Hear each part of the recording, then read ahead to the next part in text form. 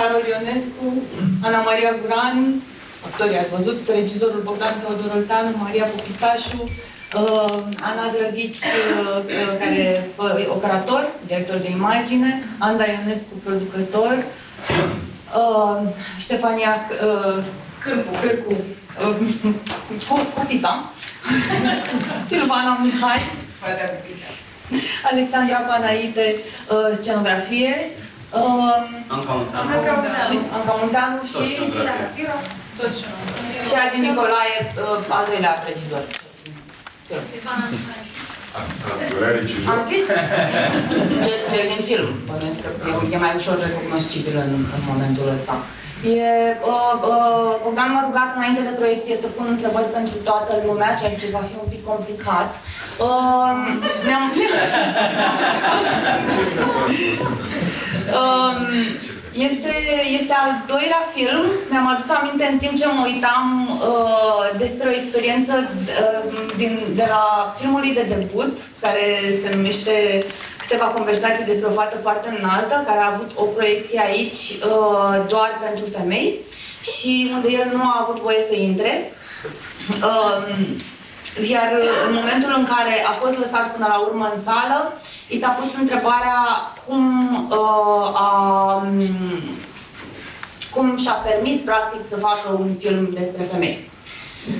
Acesta este al doilea lungmetraj al lui, în care nu doar că a, a continuat cu treaba asta, dar e senzația că a, a mărit. Dacă în primul, dacă în primul vedeam uh, relația dintre două fete, strânsă foarte tare între patru, patru pereți, aici uh, cumva el uh, se duce și descoperă o întreagă lume și se duce pe două, în, două, în două direcții care sunt foarte, foarte, m- foarte complementare, într-un mod extrem de, extrem de bun și revelator la final. Aș uh, începe totuși cu o întrebare pentru tine și aș întreba când, cum, cum a apărut Mia și în ce punct ai știut că vei spune o poveste atât despre maturizare, cât, cât și treaba asta și cu sex și mame, când, și despre parenting. Uh, O să folosesc toți microfonul, Ok. că dicția mea este mizerabilă și în, uh, în cele mai multe dintre condiții, dar... Uh, în primul rând, vreau să spun că întrebarea pe care a pus-o la, la Q&A, o la, a, a pus o întrebare, o, o domnișoară, și mi se pare o întrebare legitimă, că mi se pare că ai o problemă, ai o problemă de rezolvat măcar în momentul în care te apropii de un subiect de care teoretic ești foarte departe și poți să fii foarte departe ca gender, poți să fii foarte departe ca, nu știu, strat social, uh, capacitatea de a înțelege ce se întâmplă acolo și mi se pare o întrebare, mi se pare o întrebare importantă cum rezolv diferența asta și cum rezolv distanța. Uh, Eu am un răspuns la întrebarea asta, dar m, aș spune doar că nu mi se pare, nu mi se pare că întrebarea e, e lipsită de, de substanță. Um, bun, Mia. Cred că la, uh, fac un pic de, de post-raționalizare acum, că de obicei mi-e foarte greu să-mi amintesc de unde a pornit uh, exact ideea unui film. Pentru că e un proces care durează mult timp, lucrez, probabil trec uh, ani de zile din momentul în care ai o idee până în momentul în care ajungi să o filmezi.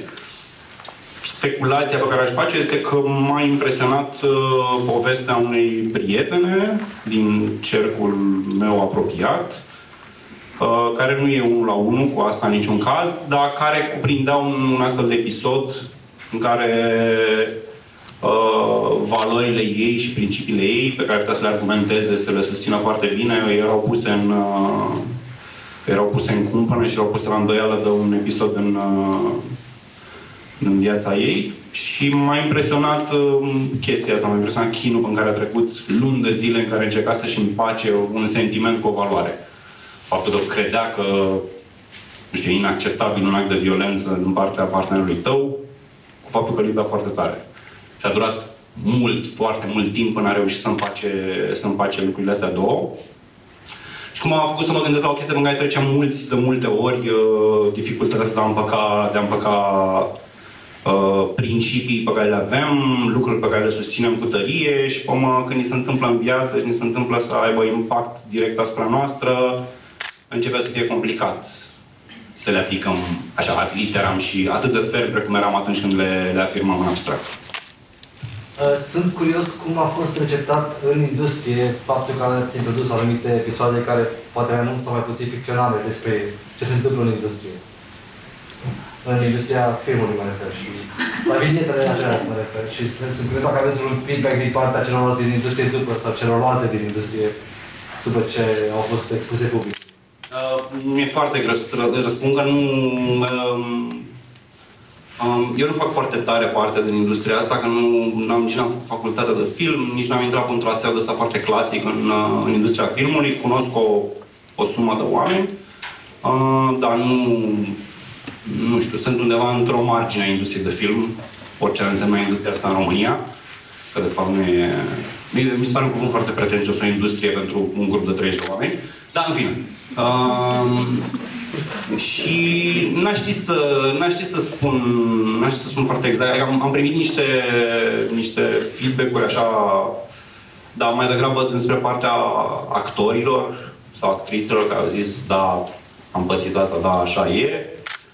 În rest nu e. Dar asta oricum e în România. Nu, nu există niciun scandal niciodată. Adică noi inventăm cât un mini-scandal să avem impresia că filmul românesc e o chestie relevantă. Dar nu există niciun scandal nici în cadrul industriei, nici în afara lui, de fapt. Că probabil că una dintre problemele acestei industrie cât de puțin relevantă este pentru marele public și cât de o afacere de, de interior e. Fără să-i, să-i, să-i uh, diminueze nimic de merită. Adică mi se pare că filmul românesc are niște calități extraordinare, e recunoscut oriunde în lume, să fac niște filme foarte bune în România, dar relevanța socială e foarte mică, adică e, nu e ceva așa care să schimbe lumi, să schimbe obiceiuri, să stârnească mari scandaluri. Nu e...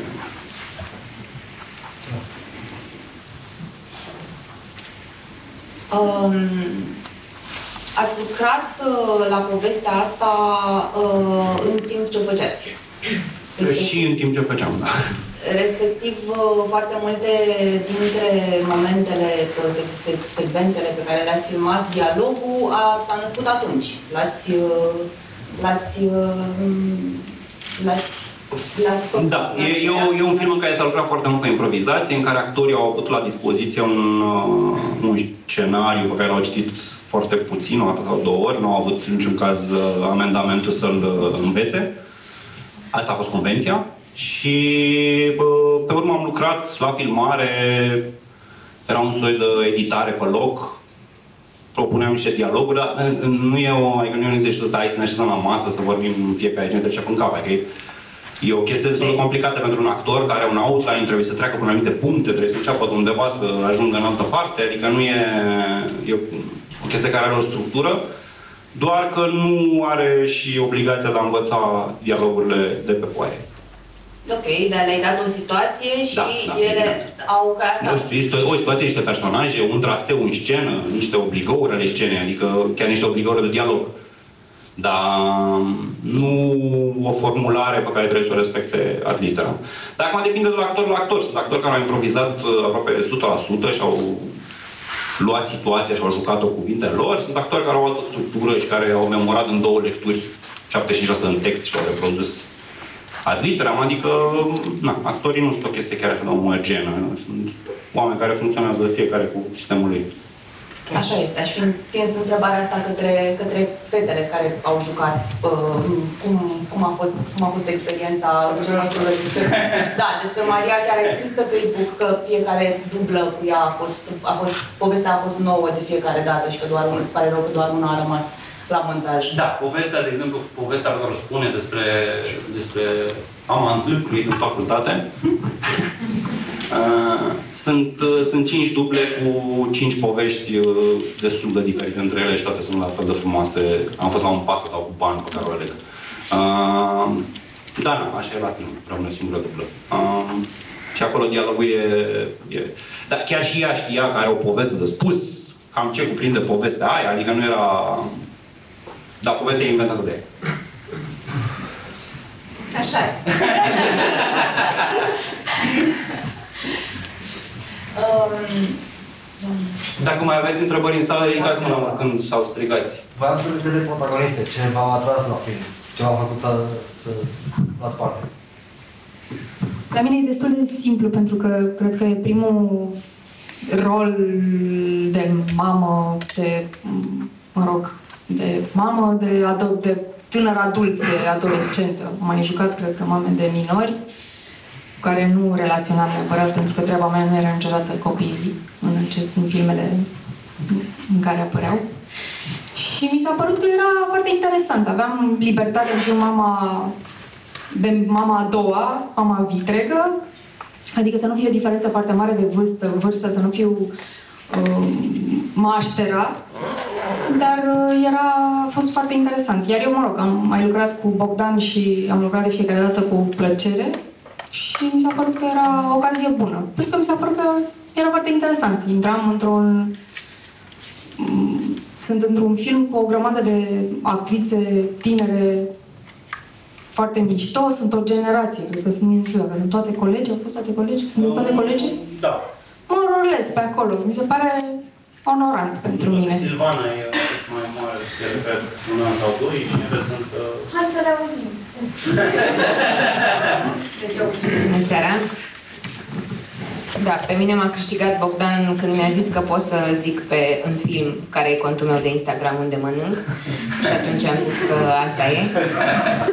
E ok. Și da, libertatea de a improviza și de a lua parte la procesul de creație, adică nu doar de a reda un text, ci de a, a-l crea în, în acel moment. Asta a fost pentru mine uh, factorul care m-a, m-a făcut să, să vreau foarte tare să fiu în filmul ăsta.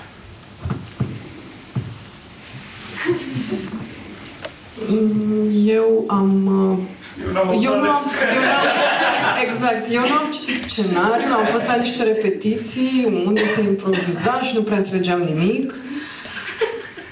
Uh, Doar că Bogdan mi-a spus că trebuie să joc, am ce am jucat în câteva conversații despre o fată foarte înaltă, adică cumva e același personaj, dar asta a fost așa inside-ul nostru și mi s-a părut foarte tare că pot să mai dau uh, încă o încercare mm, acelei fete care a apărut în câteva conversații și am zis, da, sigur, hai. Și mi-am amintesc că am venit de pe drumuri, de la un festival dimineața. A fost așa o, ceva fugitiv. Dar mi-a plăcut foarte tare și mi-a făcut plăcere să lucrez cu colegele mele, actrițe superbe.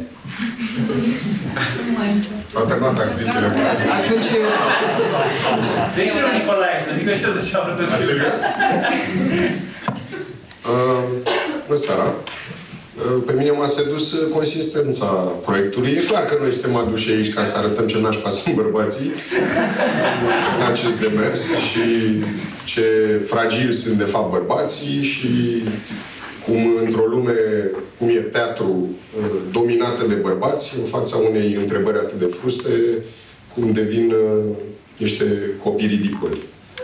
Și asta pentru mine a fost o explorare interesantă. Mai ales că mi s-a spus că sunt într-o oarecare măsură și un debușeu comic și până la urmă. Uh, în primul rând, am lucrat cu Bogdan înainte și chestia asta m-a făcut să vreau să lucrez în continuare, am mers pe încredere. În al doilea rând, mi-a plăcut foarte tare treaba asta cu improvizația, pentru că um, suntem obișnuiți să învățăm un text și de acolo cât mai lucrăm noi pe el și așa mai departe. Și în al treilea rând, pentru că am avut ocazia să lucrez cu colegele mele și cu prietenele mele. Deci, uh, cam astea ar fi cele trei motive.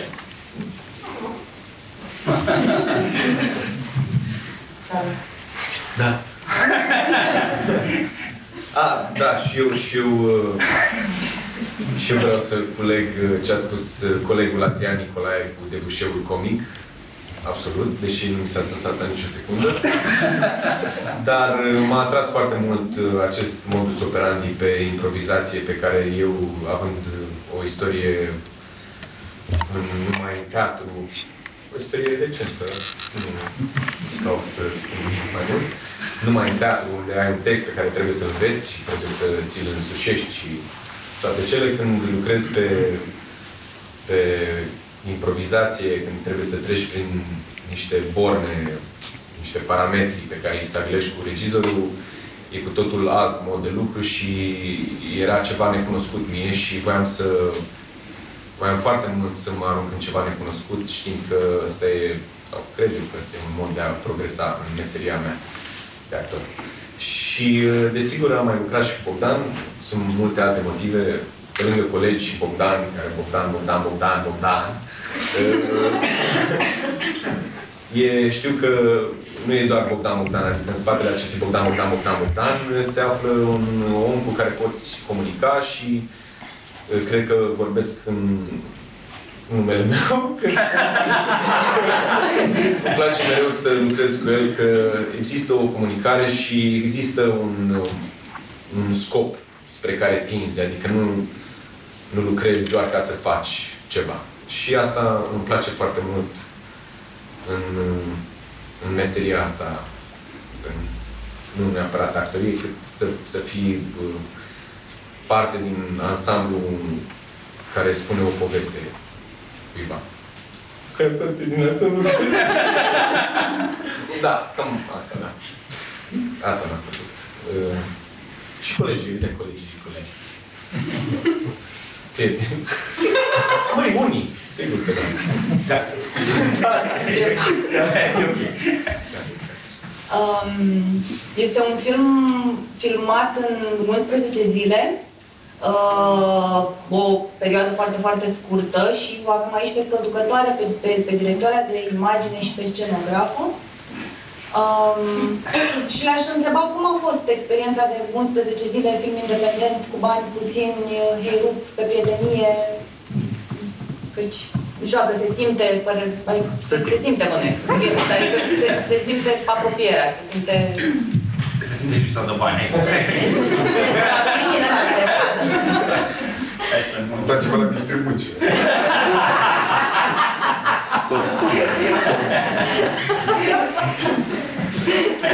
da, se simte și la noi și la prietenii noștri, toți cei care ne-au ajutat uh, să facem filmul. Uh, da, e un heirup așa când facem 11 zile. Uh, pe de altă parte ne dă și o libertate să uh, facem lucrurile în ritmul nostru și să nu așteptăm foarte mult după finanțări și cumva reușești să faci un film destul de repede așa. Pe de altă parte, da, am împrumutat diverse lucruri de la diversi oameni care ne-au ajutat și atunci cumva întotdeauna bă, te întrebi cât mai poți să faci asta, poți să faci la următorul sau nu. Um, Ana, vrei să zici tu ceva? Da, se simte.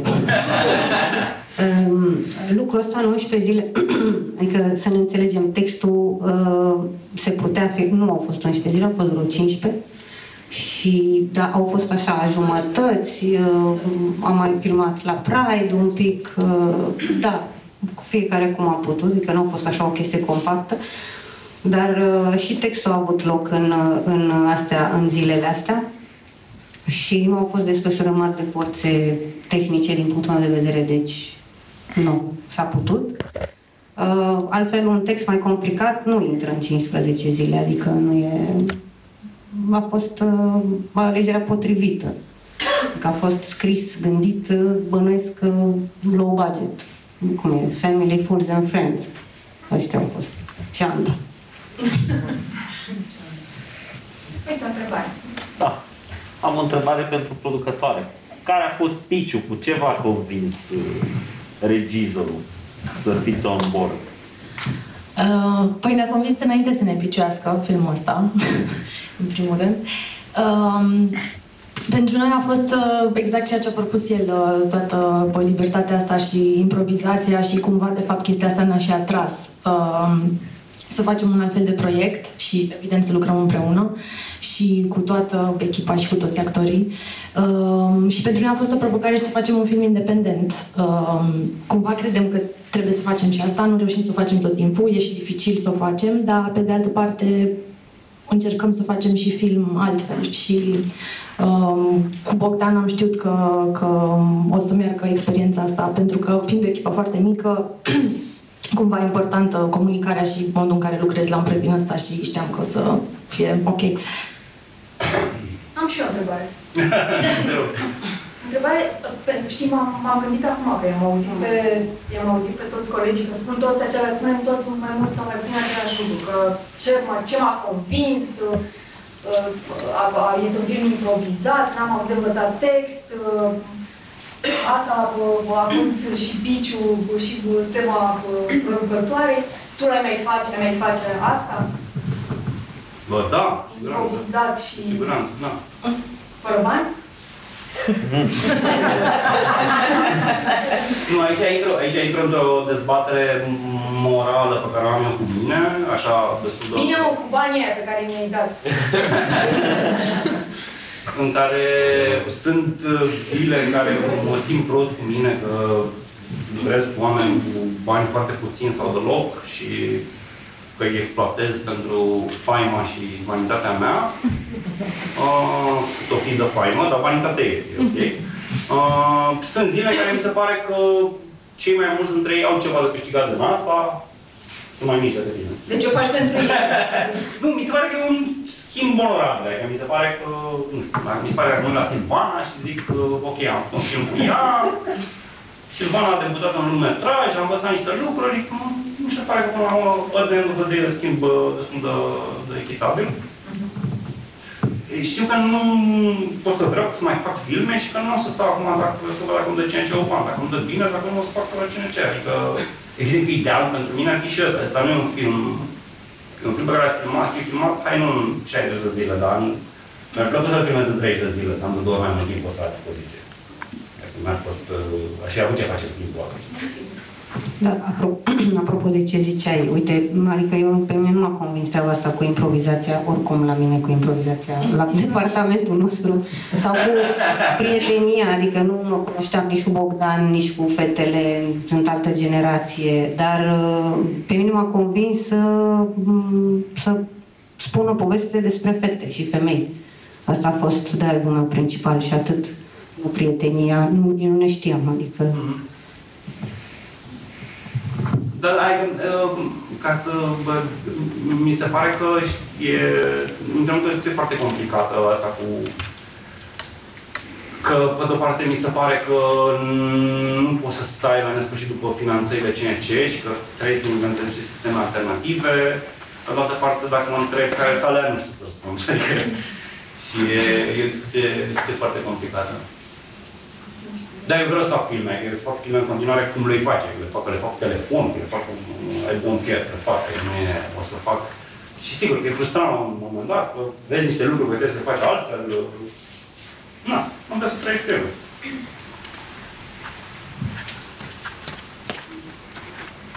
E drăguț că spune asta, că după filmare zicea că nu mai face. Păi nu, nu, nu, de acum, dacă e problema ipotetic și mi Nu, nu, nu, dar e foarte drăguț și că... Păi nu, dar... Pentru că ești expus la tipul ăsta de ce drăguț că n-a trebuit să învăț text și ce bine m-am simțit și am improvizat și nu știu ce și la un moment dat era și pentru tine era împovărător și e frumos că de fapt ai E ca la naștere, ai evitat de fapt că te-a durut și că a fost cam nasol. Acum când vezi și suge de la țâță, e, nu, e, e, e, e, e cam ok, mai fac. Nu, dar, nu, dar răspunsul este că de asta încerc să construiesc ipoteza și iau worst case scenario, care știu acum un lung metraj, aplic la CNC și CNC nu-mi bani niciodată. Să mă, mă apuc de poezie, că nu sunt poet foarte talentat aici. E, da. O să vreau să fac filme în continuare. Dacă nu de CNC bani, o să inventez un fel de a face filme. Idealul că sigur că ar fi să nu-i sclăvăgesc pe oamenii ăștia, să muncesc toți gratis și să mă simt eu prost, dar când nu iese ideal, Acum, dacă scriu un film de epocă... o să fie... o să fie mai complicat. Hai mai întrebați. Despre Mia. Curaj. Toată lumea a simțit că ăsta este un film feminist? Feminist? Pur? Nu. Nu, mie, am, am, am, am un program cuvântul pentru mi se pare că feminist este un cuvânt foarte puternic și știu oameni care sunt uh, femei, care sunt feministe și știu ce înseamnă activismul în zona asta și știu cum ce trec și știu ce lupte duc și așa mai departe și de mult timp consumă. Și mi se pare că e un cuvânt care nu merită. Adică mi se pare că ăsta e un film feminist doar dacă îl pui în contextul cinemaului românesc care e misogin. Și atunci iese feminist așa. Păi nu e că asta... Câștigă pentru că a concurat singur, dar altfel nu. nu.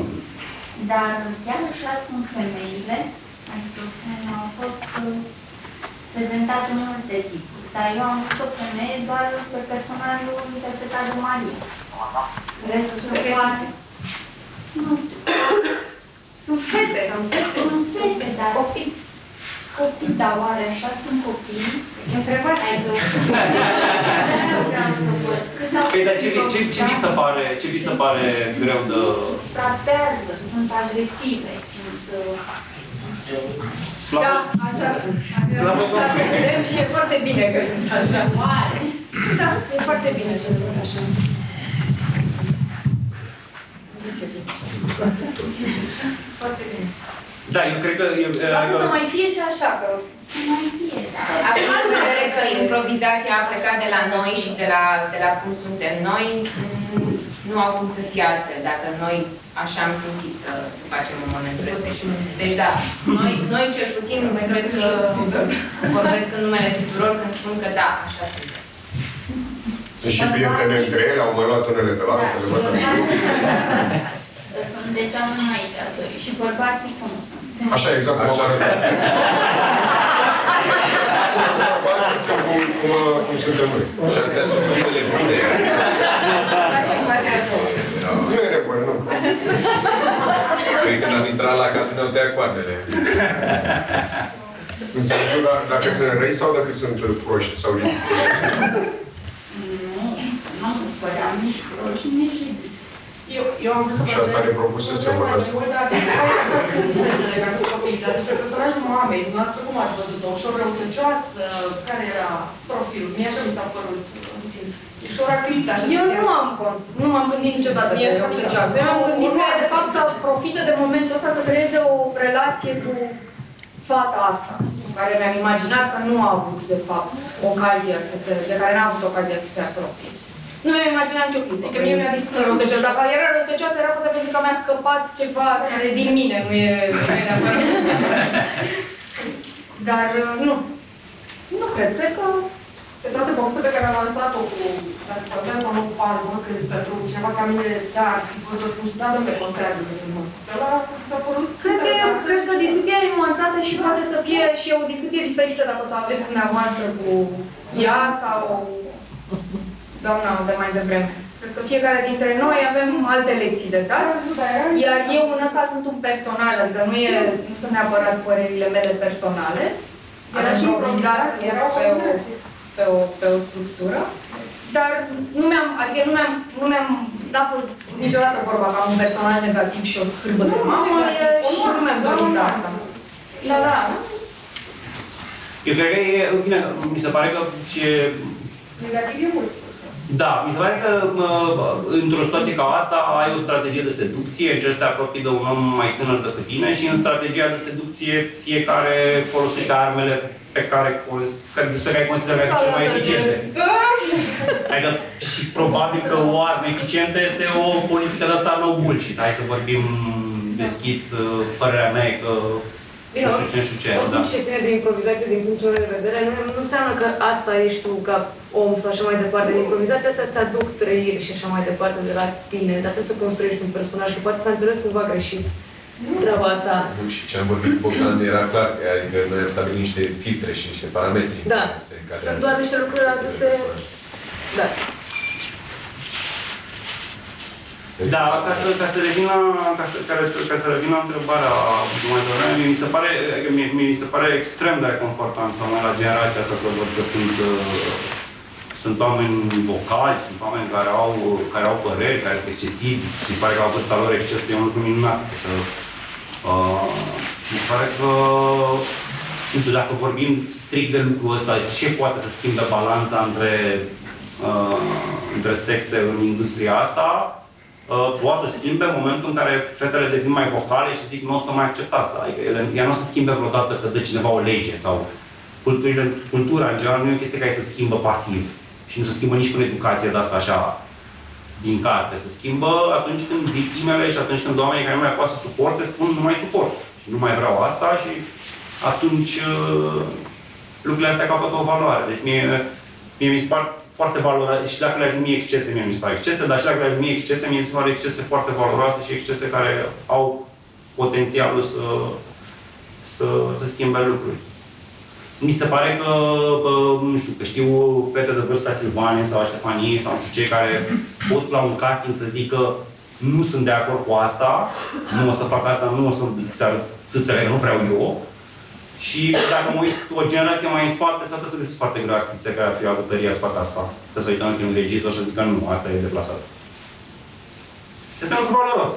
faptul că au căpătat porta asta să zică nu, asta mi se pare deplasat, e un lucru valoros.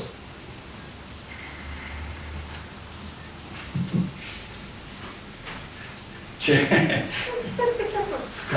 Da, legat, legat de asta și legat și de uh, ce ai făcut, ce, și de personajul tău, Maria, și de ce ai făcut pe Facebook zilele astea când te-ai jucat cu imaginea ta din, nu știu, era din... Nu era din nimic, erau din pozele mele. Ah, ok, era din pozele tale. Uh, și de momentul în care tu ai făcut, să zicem, legătură bolnăvicioasă acum vreo 15 ani, cred că. Da. Și te-aș întreba ce, ce s-a schimbat din punct de vedere, apropo și de ce zicea Bogdan mai devreme și de uh, postura voastră a prințelor. Uh. Eu am fost vocală și când eram tânără, parțial pentru că eram foarte timidă și mă ajuta să fiu mai agresivă decât simțeam, de fapt, nevoie. Dar, într-adevăr, până în momentul ăsta am fost o generație de uh, fete cărora le-a fost frică să reclame un abuz.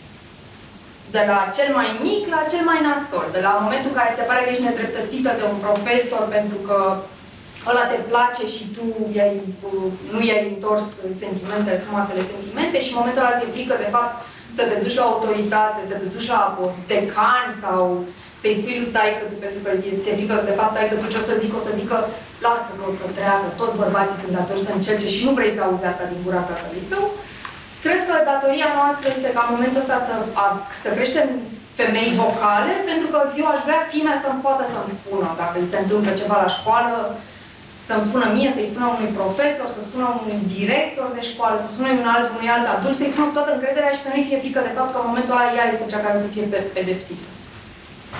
Iar eu în perioada aia, sigur, eu am plecat de la casting la care se dădea pe proba violului, pentru că asta era, era a fost foarte crud. Eu eram studentă în anul 1 și în anul 2 și mă duceam la probe și era întotdeauna scena violului. Este groaznic. Sigur că trebuie dat pe moment mai dificil să vezi dacă actrița aia poate să ducă o secvență complicată, dar e extrem de crud, de fapt, ca primul contact pe care îl ai cu o fată care are ai nevoie de o fată de 19 sau de 20 de ani și o aduci să dea o probă în fața și să fie primul moment în care trebuie să fie sfâșiată și cu chiloții însângerați. Este oribil să fie aia prima experiență. E, un, e tot un viol, e și el.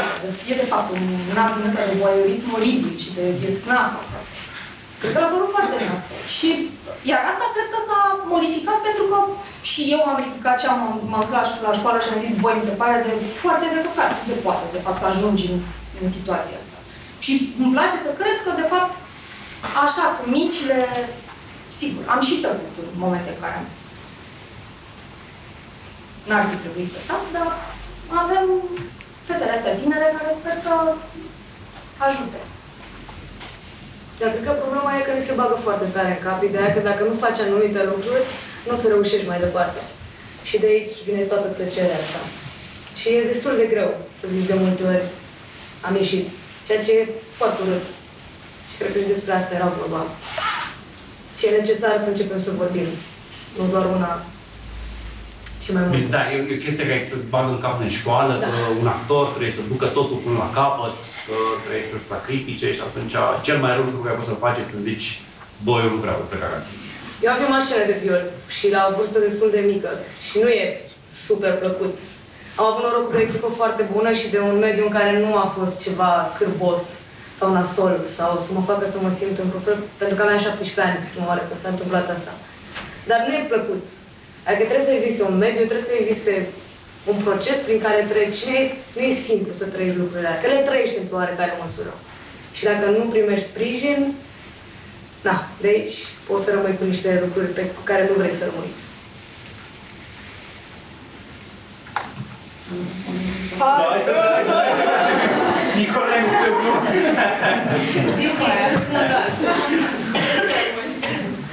bun. Mai intră netul. Îmi place că am ajuns mulțurachele acestei Sunt totuși un actor integru, nu știu cum să... Da, da, se discută teme mari. Nicolae, ia trei portocale și... Da, ați văzut? Am făcut ce mi s-a cerut.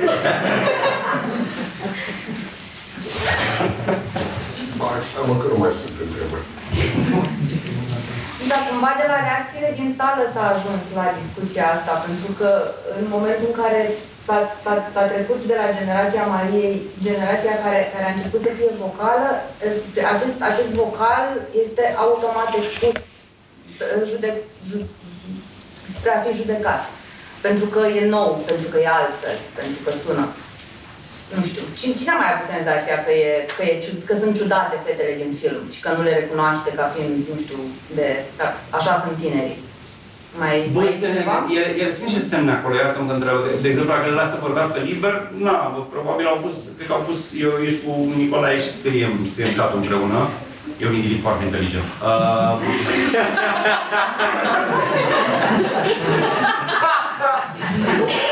și am scris, de exemplu, am scris diverse texte și în care se dă slobos la gură și la dialog, nu știu ce, și mă uitam că noi, în textele noastre, scrise de doi băieți, nu înjurăm cât înjură fetele astea în film. Dar... Uh... E o carență a noastră. e o carență a noastră. Dar, mamă, na, e limbajul lor, uh, așa, simt ele nevoia să exprime. Mi se pare că e și o formă de, de empowerment, adică mi se pare că e și o formă de, de a asuma că nu mai vor să asculte de anumite taburi, că nu mai vor să-și însușească niște uh, taburi de limbaj. Uh, dacă e ok ca trei bărbați beți să vorbească ca niște uh, bărbați beți, este ok ca și trei fete bete să vorbească folosind același limbaj, că nu e nicio diferență. Că nu... Asta fiind evident un mare tabu, adică E, ai, e, și eu, fiind într-o generație un pic diferită de ale lor, cu viața notare, și mie mi s-a părut mult la un moment dat, am bă, da, dar n-a stat la pulă în textul ăsta, la face, dar n-am, nu le-am zis, adică am zis, ok, e limbajul vostru, e, am dat cu în gură. M-am gândit, mă, sunt actrițe. Personajele. Nu, dar vă seama că și se reflex misogin la mine, adică dacă stau să dacă stau să desfac să văd de ce mi-a deranjat, îmi dau seama că reflex misogin că mă deranja. Că am mai același limbaj comun pentru toată lumea, adică nu e... Dacă nu mă deranjează la tine și la Carol, am trebuit să mă deranjeze și la Ștefania și la Guran.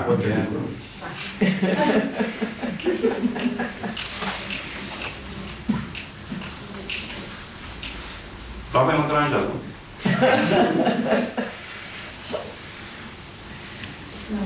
O să mai spun despre Alexandra Panaite, că de fapt aveți senzația că nu o cunoașteți, dar ați văzut-o în film, pentru că personajul, uh, uh, designerul de, de costume de la teatru, din secvențele cu, cu piesa, este uh, uh, inspirat uh, de... Da? foarte mică măsură.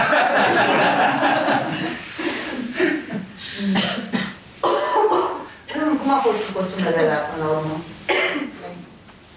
Costumele? Da. Uh, din, uh, din Nu. spectacol sau din Din, uh, din, uh, din spectacol.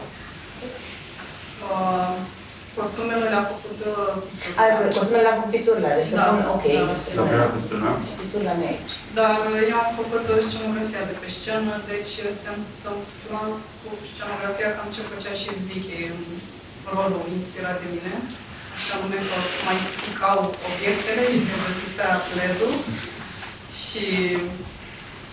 Dar, uh, da, m-a amuzat faptul că Bogdan s-a inspirat cumva din uh, mine pentru a crea rolul Și din lipsă jucat de de buget. Michela. Și din lipsă de buget. Da. uh, Ideea e că am par- participat na, uh, în sală când s-a filmat și cumva Bogdan mă înjura uh, în gând, pentru că eu râdeam și plângeam în același timp, că mă vedeam jucată pe scenă și nu venea să cred că așa colaborez eu, cel puțin cu Bogdan. Cumva sunt agresivă, cumva sunt pasivă și e jocul ăsta de în care fac lucrurile, dar pare că nu-mi pasă, dar de fapt îmi pasă. Dar uh, lucrăm de prea mult timp împreună, așa că îmi permit să fiu uh, agresivă, dar în același timp să lucrăm. Da! Asta dă de bani, că după aia o să-și ia un serios. Că așa-s bărbații, asta spune. Așa un bărbat. că și aici oricum pare că s-au spart pe mâini, că generația asta tânără de fete să se impună, să zic că nu, e... Aștept, aștept momentul în care o să discutăm între noi toate astea. Nu, dar nu vreau să pară pe mi se pare că ea intră într-o discuție destul de complicată, că aș zice că orice fel de, orice fel de schimbare de genul ăsta uh, sună cinic că trebuie să plece de la victime.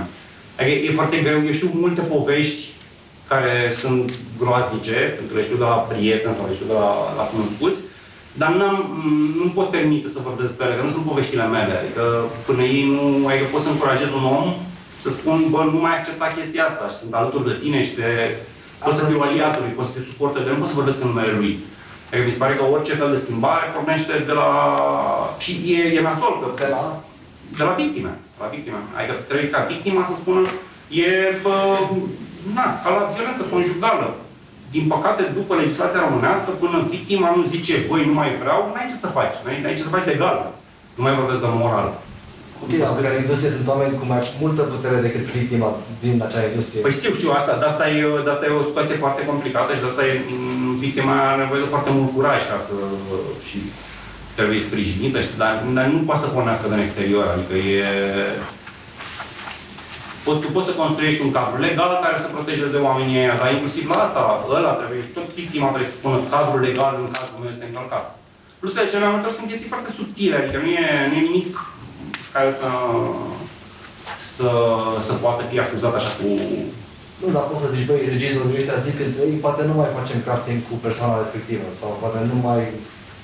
Adică... Băi, sigur, e un risc, adică nu e... e adică orice schimbare de asta e complicată. E... Da, da, e discuție lungă, scuze, n-am E, nu, nu, nu, dar nu e, e, e o discuție importantă. Eu am văzut, am văzut de curând, a fost la One în România un film al lui Delfin Seyrig, care e o mare actriță franțuzoică, a jucat cu toți actorii mari, din nou, Val și așa mai departe, care povestea că atunci când s-a apucat să protesteze față de protocoalele de cinema franțuzesc și așa mai departe, a avut de suferit. Au fost oameni care spun, i-au spus, bă, tu ești feministă nebună, nu mai vrem să vorbim cu tine. Și era dita mai actrița, adică era, nu era o debutantă, era cineva care vrea să cu trufol, vrea să șabrol, adică era o mare, o mare, o mare actriță. Tot a avut de suferit, în fine, a fost poziție și a asumat-o, a zis, eu bă, nu mai vreau să fac anumite lucruri și nu mai făcut anumite lucruri. E complicat. E, și e complicat uh, la nivelul întregii societăți, adică e mult dincolo de cinema sau de teatru. Adică în cinema sau teatru mi se pare așa, că e o ecuvetă în care vezi societatea românească construită vezi misoginismul, vezi homofobia, vezi, uh, le vezi așa concentrate, dar de fapt problema e la nivelul întregii societăți. Problema e de la fata care și-a bătaie de la soț, se duce acasă și mă îi spune că și ce facem cu tine? Te-am dat deja. Am o ultimă clarificare. Ce încercam să spun e că poate nu iese din cameră directoarea de la casting și lasă pe regizor singur cu fata care vine la Sigur, da. mai degrabă. Așa ar fi ideal. Așa ar fi ideal. Ea nu putem să punem totul doar pe victime. Asta mă gândeam, să ai o structură... Nu, dar nu, dar eu, eu, eu nu, nu acuz victimele, spun Nu, doar... nu, nu, nu, nu, da, da. eu nu acuz victimele, spun doar că, din păcate, asta, e- de fapt, asta e problema. E nu ușor. Eu, ca bărbat, că pot să zic ce vreau eu și na, ce, ce spune, așteaptă un parcare la vrei. Dar mi-e greu să mă pun, să-mi asum responsabilitatea să vorbesc în numele lui Ani. Să zic, bă, uite, hai să vă spun ce mi-a povestit Ana. Nu se face chestia asta. Trebuie Ana, la un moment dat, să aibă curaj să zică, uite ce am pățit. Și atunci o să fiu alături de aia și să zic, bă, ce a pățit Ana e groaznic. Și te aștept în parcare, da. Trebuia, trebuia Ana să vorbească, adică...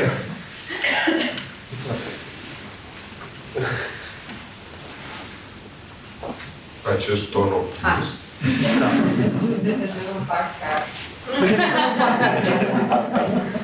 Vă mulțumesc foarte mult că ați venit. Mulțumim.